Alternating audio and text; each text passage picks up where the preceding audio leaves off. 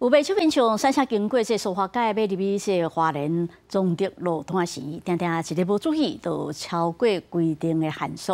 啊，因为迄个所在掠这超速的摄像机，将后了，去年就处地五千外件，罚款五千外万。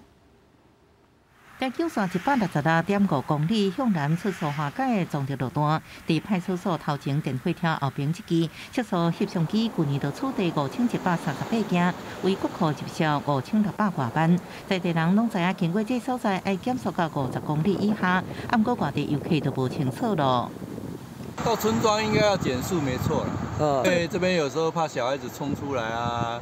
或者是老人家喝酒醉的啦，怎么样的哈，行动不便的慢的啦。因为我们是当地人，所以我常开应该是还好。啊啊，但是外地人的话呢？外地人的话应该不清楚。呃，很容易被照到，对不对？照对。